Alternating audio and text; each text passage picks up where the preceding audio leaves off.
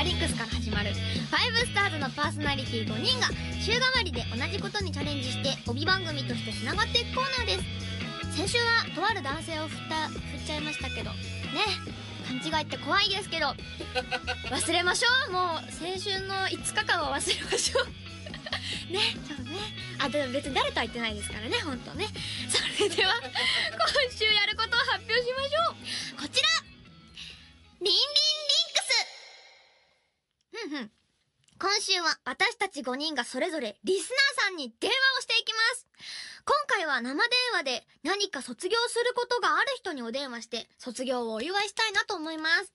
生電話。私、収録ではあるんですけど、もう生放送での生電話初めてです。やばい。だから今日緊張してんのかなドキドキしてます。え、もう繋がる？いいんですかね？もうちょっとなんかもう、なんか緊張するんだよみんなはね、月かって友達ちゃんとセリアちゃんをやったんでしょ？みんなもやるんだよねどうなのかな？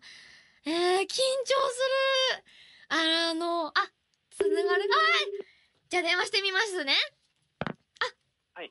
もしもし。はい。あ、はい。あの、ラジオネームを教えてください。お、お？お？あ、つながってる？あれ？もしもし？と、こちら様ですかね？あれ？ファイブスターズの。あ、そうです。はあ、そういで。す。はい。あのですね、ラジオネーム教えていただいても大丈夫ですか、はい。えっと、ラジオネームはゆうです。あ、ゆうさん。はい。あ、よかった。マジで緊張した。あ、すいません、こっちも緊張してて。ドキドキ。えー、っと、今年卒業することなんですけど、何を卒業するんですかね、えっと隠れオタクを卒業したいと思ってまして。隠れるほど。はい私と一緒ですね。そうですね。なんと、あ、高校3年生 ?4 月から。はいあ、そう、4月からそうです。学生ってことは今はまだギリギリ高校2年生なんですか？はい、そうです。そうなんですね。いや、若いですね。年下だ。え、なんか私の、え、あの、全然関係ないですけど、私のラジオとか聞いてくれてたんですか、そうです。聞いてます。あ毎週。はい。えー毎週ありがとうございます。いえいえ。嬉しい嬉しい。えー、なになに高3になるので部活から、あ、バスケ部から卒業して、受験に備えなくてはならなくなったと。そうですここ。で思い切って隠れオタクからも卒業。え？ってことは、オタクは卒業しないってことですか？はい、もちろん。はい。よか、よかったえー。え。ねえ、え、オタクってことはアニメが好きなんですか？はい、アニメも声優も両方好きです。両方好きえあ、何が好きなんですか？アニメ。アニメ、えっうんと、うん。今、テイトは好きですね。一緒じゃないですかもうか、もう、も う友達になろえ、いいんですか、それ。いいよた。だって、だってね、隠れオタクってちょっと辛いくないですか？あ、辛いですよね。辛いよね、はいなんか、え、でも友達とか、友達とか、あの、アニメの話とかする子はいない？えっと、親友で一人だけいて、あ、一人いる。はい。あ一人いる？私、私？ん？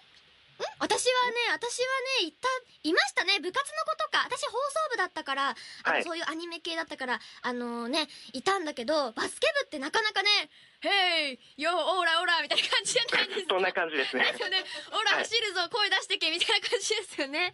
あ、じゃあ、でも、大浅ま一人いるのか。はい。そっかそっか。で、あのね、ここに書いてあるのが、隠れオタクから卒業するにあたって、オタクの先輩である田中みな実さんにアドバイスをもらいたいです。ことなんですけど、何か聞きたいこととかなんかあります、痛いそうですね。うん。えっと、どういうふうに隠してきただとか、あの、バレた時にどう対応してたとか、バレた時に、ああ、バレた時に、なんか、もう私は開き直っちゃって、ええ。そうだ、好きだぜ、みたいな。あもうなんなるほどか自分の趣味、なんか結構今ってアニメ結構主流になってきてるじゃないですか。だそうですね。よね。だから、なんか言っても大丈夫だと思う。大丈夫ですかね あと、なんかね、スタイリッシュな、結構今はいグッズとかってさ、私も携帯見せちゃうけど、見はいて見てこれ配給、あ、見てます？今。これえあの、配給のストラップなんですよ。はい。でも、猫ちゃんなんですよ。これ、あの、猫マのストラップなんですけど、ちょっとおしゃれじゃないですか、はい。だから、ちょっとこういうおしゃれなのつけて、おおみたいな。私知ってる子がいたら、それ配給なんじゃね？みたいな感じになって、お友達の輪とか広がるかもしれないと思うんですけど、どうですかそうねですね。うん。いやー、でもオタクって辛いよね。辛いですよねわかるよ。いあ。のクラスで話してる人とかも結構いるんですけど、あいるの？いるの？はい、あのオタク話、オタクの話をしているアニメの話をしている人たちにうんうん。混ざりたくて混ざりたくて。混ざればいい 混ざりたいですよね。やないの混ざり。たい。なんかちょっと、なんて言ったらいいのかな。なんかね、難しいね。なんか、あ、知ってるよとか、そんな感じでもう普通に話しかけちゃえばいいと思いますよ。あ、話しかけたことは何度かあるんですけど、あるんだ、あるんだ、あるんだ、おー、いいなんか反応がちょっとえなんで話しかけてんの？みたいな。え、そんな、そんなの、そんなことある？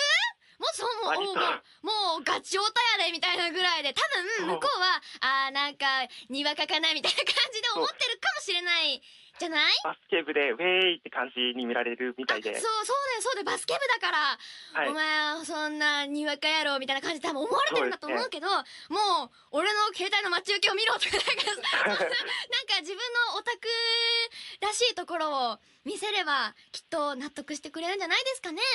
はいうん。ああ、よかったよかった。とにかく、もう、ああ、私が友達になってあげたいよ、本当に。おそれはすごくありがたいですすごいすごい。いやー、ということでね、あのー、じゃあ、卒業できた、できると思うので、私がお祝いしたいと思います。はい、ということで、ゆうさん、卒業おめでとう 寂しい曲がなんか。はーい。